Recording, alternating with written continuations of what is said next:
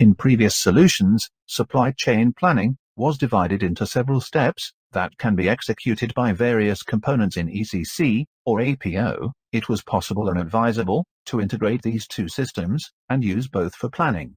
The core interface, or CIF, was used to integrate the systems. Demand planning used, for example, to derive a future demand program from the demand figures in the past, can either be executed in ECC, in flexible planning, with the special case of standard SOP, or sales and operations planning, or in APO, in demand planning. Actual demand management takes place in ECC, however, planned independent requirements can also be derived from APO DP. Sales orders are always created in the ECC system. A global ATP check of the sales order can be performed in APO. This can also be integrated with PPDS.